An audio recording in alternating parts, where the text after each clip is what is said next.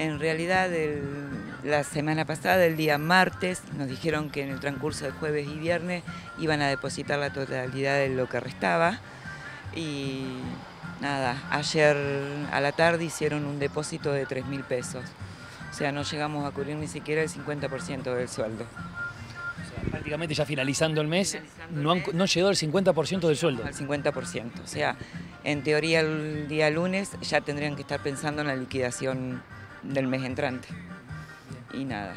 ¿Han tenido alguna conversación formal o informal, sí, con las autoridades, con el gerente? ¿Qué es lo que van a hacer al respecto? Sí, en realidad el gerente nada, no, no le dicen nada, le dicen que van a depositar. Lo mismo que el gerente nos informa a nosotros, eso es lo que le informan a él.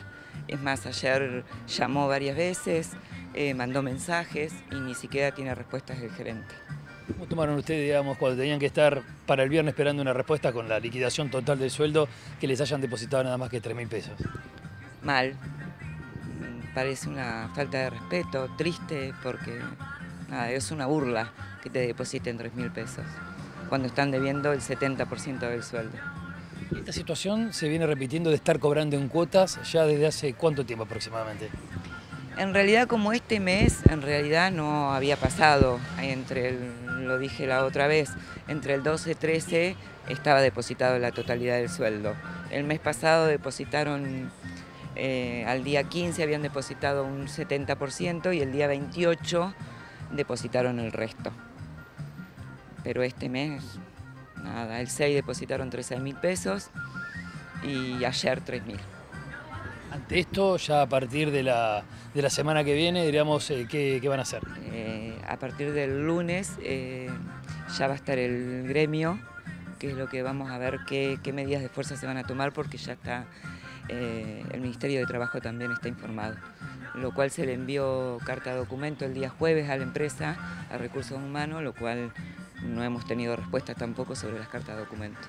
En cuanto a las medidas que pueden llegar a tomar, ¿qué es lo que se analiza? Eh, hacer un, una quite de colaboración, o sea, estar presentes en el lugar de trabajo, pero sin atención al público. Mucha bronca, mucha bronca porque esto ya es una tomada de pelo, eh, no alcanzas a cubrir las cuentas, eh, indignación, más que nada, de cómo recibimos el sueldo, ¿no? Además nosotros le cumplimos, nosotros venimos todos los días, no venimos por parte, como muchas veces yo por ahí me enojo y reclamo, uno no viene por parte, uno viene, cumple el horario, viene todos los días y recibir el sueldo así no es justo, para nadie es justo.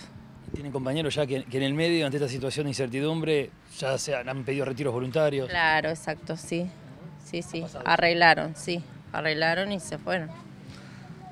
¿Por la angustia esto, incertidumbre en ustedes? Sí, a miedo a quedarte sin trabajo, y qué sé yo, no sé.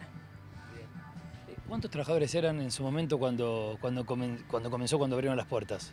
Y yo hace dos años y medio que estoy, cuando yo empecé éramos 17 y ahora solamente quedamos tres, con el gerente cuatro.